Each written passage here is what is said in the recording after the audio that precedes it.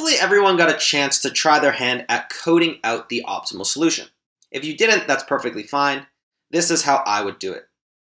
So if you'll notice right here in the middle, I have written this little object here that reminds us of what the key and the values will be.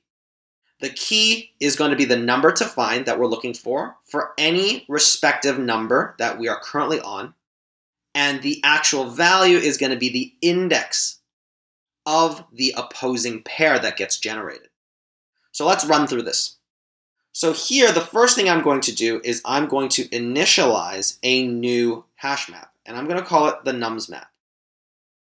This nums map is going to be that exact object we just spoke about.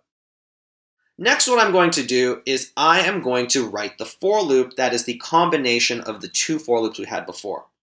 So here I'm going to have a for loop with just one pointer now. This pointer is going to be the exact same and check as long as it's less than the nums length. We're going to increment.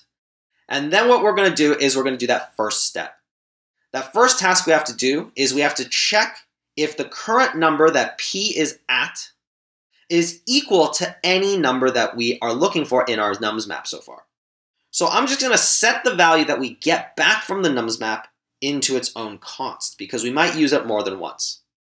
So here I'm just going to call it current map val is equal to nums map at nums at p. Now that we have our current map val, this value could either be an index value that we've got so far, which means that we have a correct answer, or it could be undefined. So that's what we have to account for in our if conditional check now. So we're going to say if current map val is greater than or equal to zero.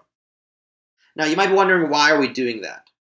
Well, in JavaScript, zero is considered a falsy value, which means that if we actually generated the correct number to find that we found later in the array from zero, when p was zero, this zero index would get returned here, and this would actually evaluate to false because zero in JavaScript is falsy. So we just have to write it like this. So if you do plan to do your interview in JavaScript, keep in mind all of the rules of JavaScript when writing your optimal solution. So once we see that the current map val is greater than or equal to zero, then what we want to return is an array of the two indices. Now here, one of those values is going to be our current map val. Because remember, that is the index value. The next thing we're going to return is p, because that is the opposing index of the matching pair. If that doesn't happen, then in our else statement, we are going to do the second task, which is to generate the number to find and then store it in our nums map. So here I'm going to say const number to find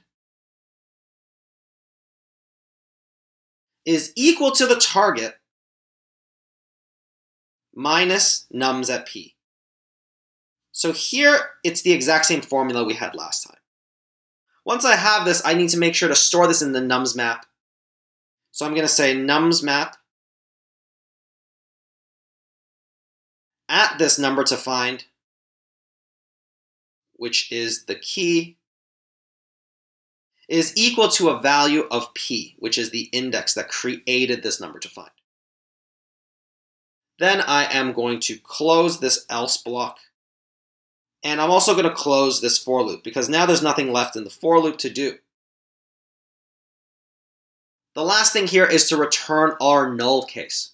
So this is just as simple as we had before. If our for loop executes and nothing happens, and we haven't found a solution, then we return null. So with that, we have our working solution. Now, the best thing to do is the same thing we did before, which is run through our test case. But before we do that, let's just quickly evaluate what the new space and time complexity is. So here, our time complexity is only this one for loop. This for loop is the only thing that scales with an increasing input of our nums array.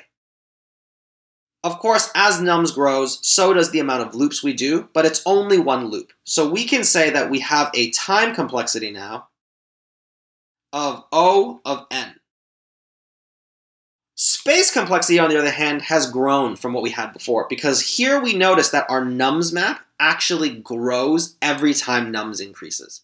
Because as the nums increases, the chances that we store more values in our nums map also increases because there's a case, even with our current array, where the answer is the last two values, which means that we have generated a number to find and stored it in our nums map for every single value that came before this solution. So in a worst case scenario, we also have a space complexity of O of n. So that's what we're going to write. Space is O of n. But that's a perfectly good trade-off to make because we brought time down so much. Now let's once again take our test cases and run them through our newly optimized solution. That's what we're going to do in the next lesson.